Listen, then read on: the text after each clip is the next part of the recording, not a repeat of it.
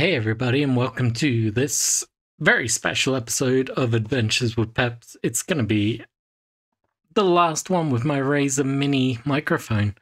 I now have a new setup, as you can guess from this cable that I have on the bench.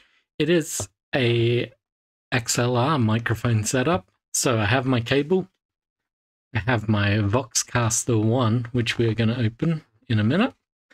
And then I also have my, if I can get it in screen, my Wave DX by Elgato. Now, I have never had a dynamic vocal microphone. So we are going to have a look at the pieces. I'm going to try and set it up and we will see if there's a difference between the new microphone and the one that I'm currently talking on. So before we can do any of that, let's crack it open. Now, as mentioned, I just bought what I was told to buy, and I'll drop links to Amazon for all the pieces. You can see this is Amazon Basic.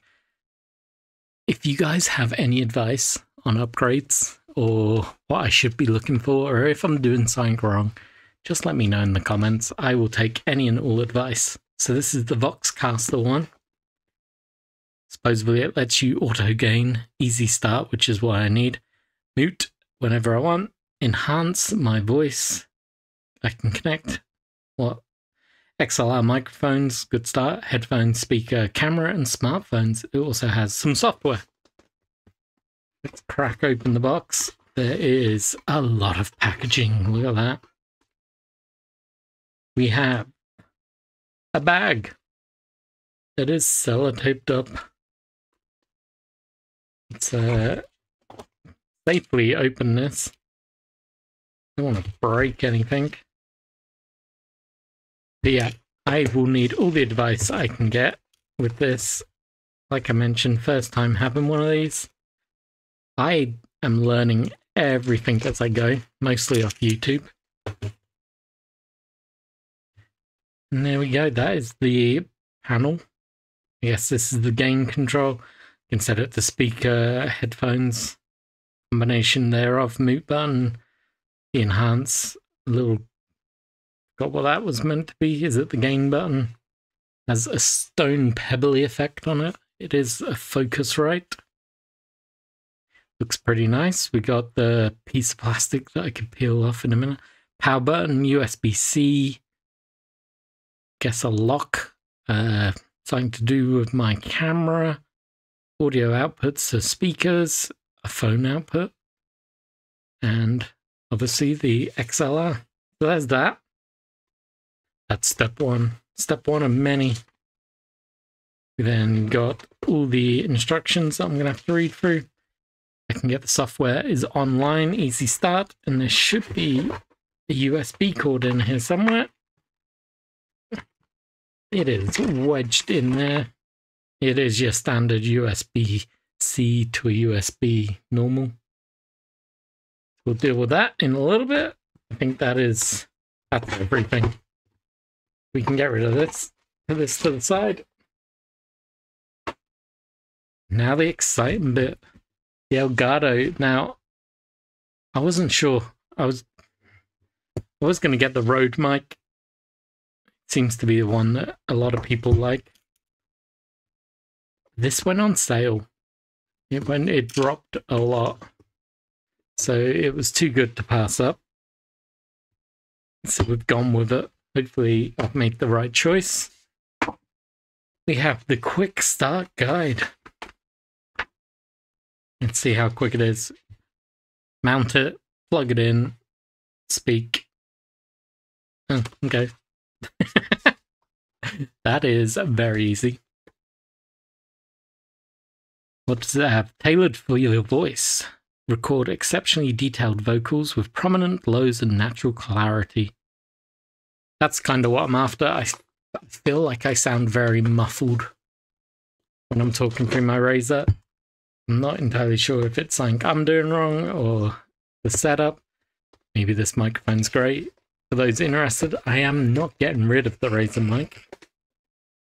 I'm hoping to play more games with my partner and she needs her own mic if she's going to talk. especially when playing board games. I'd like to know what she's thinking as she's making her moves. I feel having a dual mic setup is going to be quite helpful for that. That's a huge amount of packaging, guys.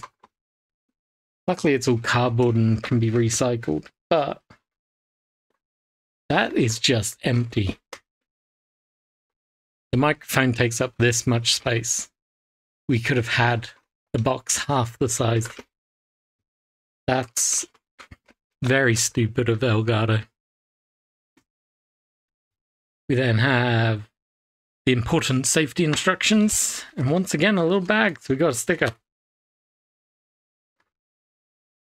What is this? Environmentally friendly plastic, but 100% biodegradable. So they do that, and then they chuck a load of cardboard in. This is heavy. Feels like it's all metal, but it sounds a little plasticky. I think it's metal. Got a nice metal uh, plastic button there. Your standard attachment. Hopefully that's going to fit where I plan on having this microphone. And speak into this end. I assume you take the plastic off. Otherwise you're not speaking into anything. This is on tight. What the? What did they stick this down with? Right, there we go. And this simply must plug in like so. And then the other end is going to plug into the Voxcaster. So I'm going to play around and try and get this set up and connected to my OBS. And hopefully when I come back, I will be talking through this Elgato setup. Catch you in a minute.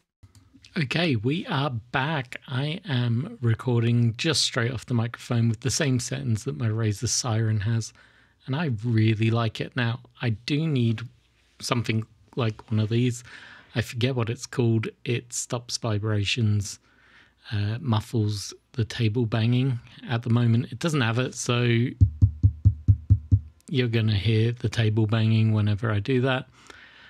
But ultimately, I do like the sound on this. I think it is really nice. It looks nice, feels like a proper setup. I want to get an arm for it. Maybe I'll get one for my birthday, but I can mess around with the gain on this Focusrite. I'm not gonna treat you to that because it just pumps up the volume and lowers the volume. But ultimately, I have a lot more control now than I ever did before, and I might have to really tweak with my settings to get this right. But for now, I am happy. I am loving this setup. So, as always, cheers for watching and catch you in the next video soon. Bye bye.